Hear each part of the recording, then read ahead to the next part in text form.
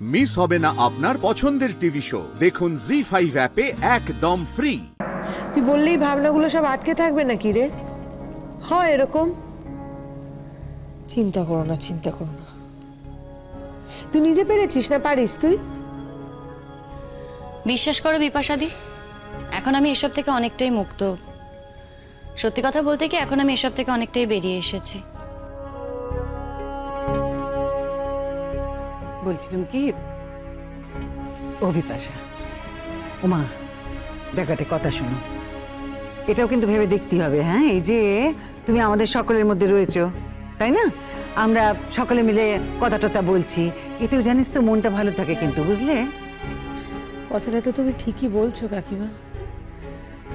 কিন্তু কি বলো তো পুরো সংসারটা সে যতই সাধারণ হোক এইটুকু তো সংসার।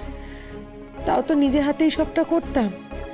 একার হাতে সব দায়িত্ব সামলেছি ঊনকোটি চৌষট্টি সব কাজ নিজে করেছি। এক রাতের মধ্যে বিক্রি হয়ে গেল। ওর ভালো হবে না দেখো ওর কোনোদিন ভালো হবে না। ওর তো খারাপ চাইতে পারছি না। এত কিছু হয়ে গেল তাও কি খারাপ চাইতে পারছি? কাকিমা এখনও মনে হচ্ছে যা হয়েছে হয়েছে থাক। পাল্টাতে তো পারব না ও ভালো থাক। সুখে থাক। শুধু চিন্তা আমার শাশুড়ি মাকে নিয়ে গো।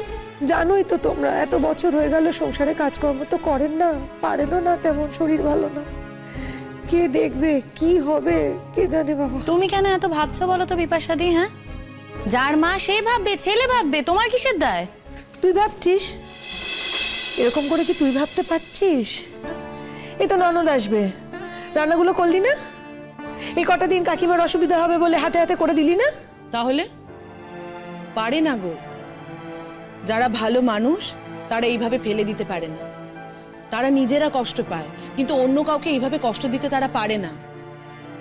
আজ পরাগটার কি অবস্থা? আর পলাশটাকে দেখো, গায়ে হাওয়া লাগিয়ে ঘুরে বেড়াচ্ছে। ওর তো কোনো কিছুতেই কিছু যায় আসে না। আমি তো এই কথাটা আগেই বলেছিলাম।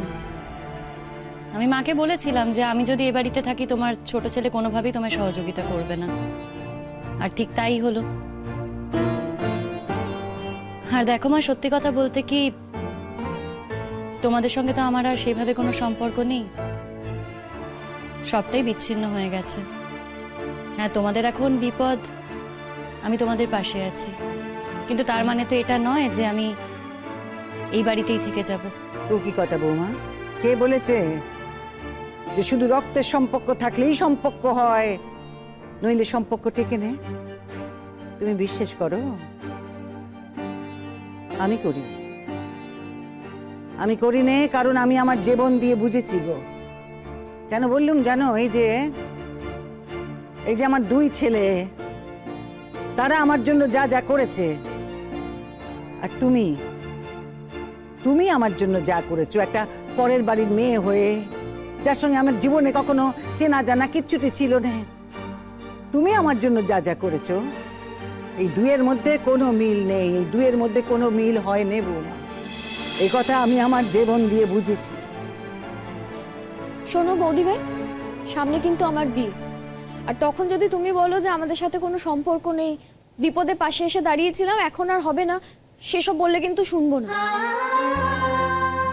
এই পুতুল দিয়ে আসবে বলে তুমি যেমন নিজে হাতে রান্না করছ, সবটা করছ, ঠিক সেরকমই আমার বিয়েতে সব কিছু তোমাকে দায়িত্ব নিয়ে করতে হবে, এটা আমি বলে দিলাম। আর বর্দা ভাইয়ের সাথে তোমার কি হবে না হবে আমি জানি না। কিন্তু তুমি যেমন আমার বৌদি ভাই ছিলে ঠিক তেমনি বৌদি ভাই আমার সব সময় থাকবে। বুঝতে পেরেছ? একদম ঠিক। আমার মেয়ে কিন্তু একদম ঠিক কথা বলেছে শোনো।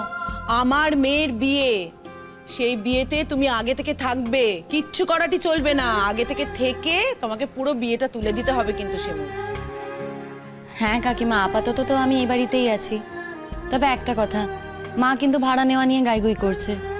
সেটা যদি চলতে থাকে আমরা কিন্তু এ বাড়িতে থাকব না। বলি ও কি কথা রে ছোট? শুনছিস তো কি বলছে? একদম না। সে নাকি আমার বাড়িতে থাকবে ভাড়া দিয়ে। তুই ভাব দেখি আমারই কাছে। সে কাকিমা শোনো তুমি যা করো করো শিমুলের সঙ্গে এটা তোমার আর শিমুলের ব্যাপার। তবে আমার কাছ থেকে ভাড়া নেবে না তা কিন্তু যেন না হয়। আমি জানি তুমি বলবে কোথা থেকে ভাড়ার টাকা দেব কীভাবে কি হবে না হবে আমি কথা বলেছি। কয়েকজনের সঙ্গে কথা হয়েছে, দু চার দিনের মধ্যে হয়তো দু একটা টিউশনিও জোগাড় হবে।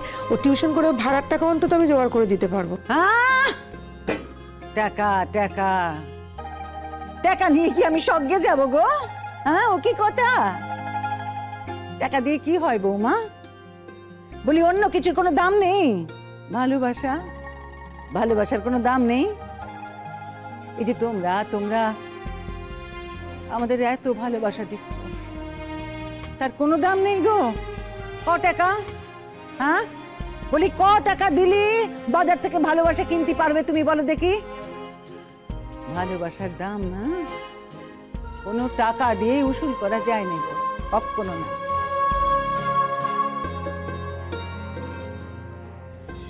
হ্যাঁ? যাও গিয়ে বৌদিকে প্রণাম করে এসো। না আমার আমার আমার ভয় ভয় করছে উম, যদি আমাকে মা মারে। মারবে না। যাও যাও, গিয়ে প্রণাম করে এসো, যাও।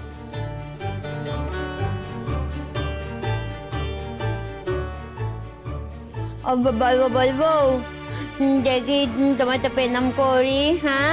তুমি যেমন তেমন তো বড় হও তোমার প্রণাম করে তারপর যেতে হয়।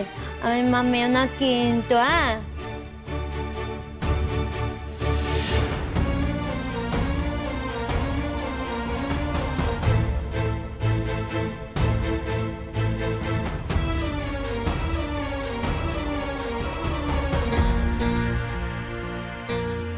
এই সরতা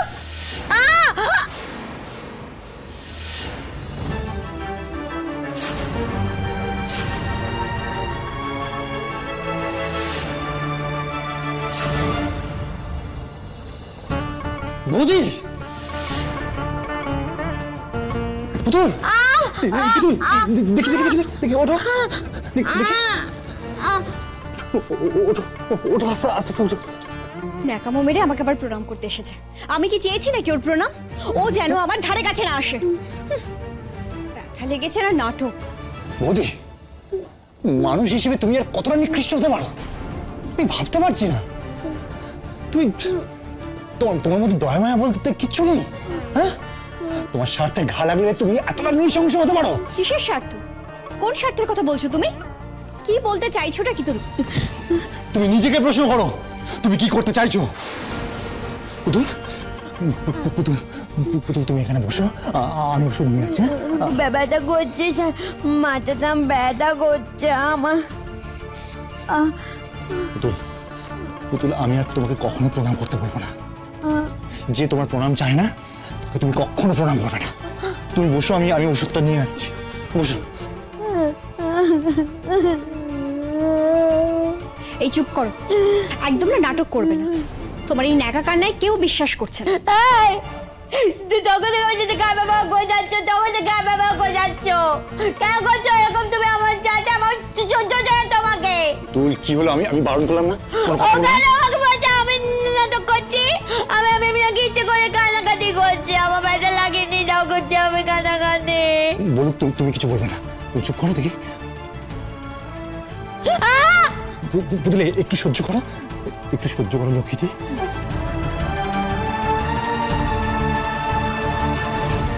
জি ফাইভ ডাউনলোড করুন আর সব এপিসোড দেখুন একদম ফ্রি